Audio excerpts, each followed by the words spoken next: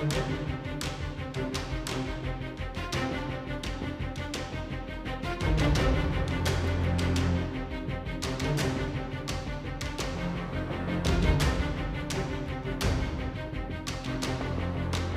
don't want to end up with a situation where we've vaccinated a million people or two million people with a vaccine that may not be effective in preventing hospitalization and severe disease.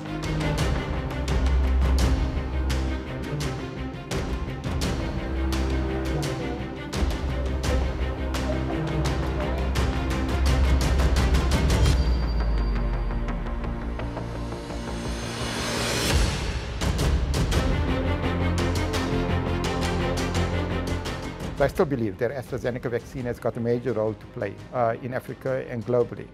It might not be the vaccine that we need uh, to be able to reach the so-called herd immunity threshold, which in probably in all likelihood is not unlikely to occur uh, just with vaccination on its own.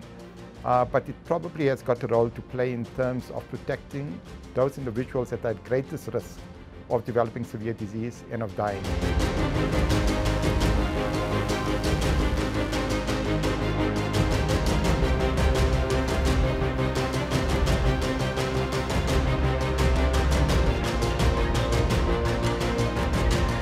It also seems increasingly clear that manufacturers will have to adjust to the evolution of the virus, taking into account the latest variants for future shots, including boosters. We know viruses mutate, and we know we have to be ready to adapt vaccines so they remain effective.